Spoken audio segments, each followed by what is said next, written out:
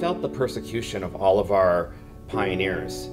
And I felt um, it, it, broke my heart because it reminded me of the persecution I had being a victim of a brutal hate crime for being accused of being gay a, in my in my high school um, in my when I was a junior and when I was attacked by 15 students. So it was something that it brought me back to that and I realized that if any religion could understand persecution, it was the Church of Jesus Christ of Latter-day Saints.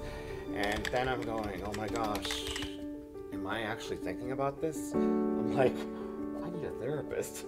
like, what am I doing? So uh, before Andrew and Audrey left, they we went to LDS.org